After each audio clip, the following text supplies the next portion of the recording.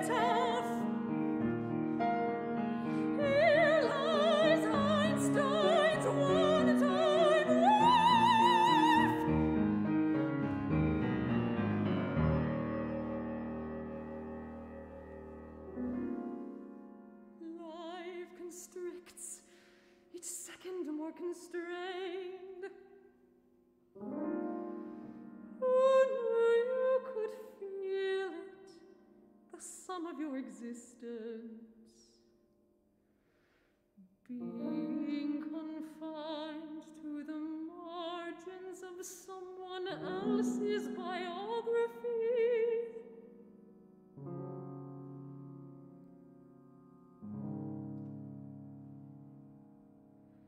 Still,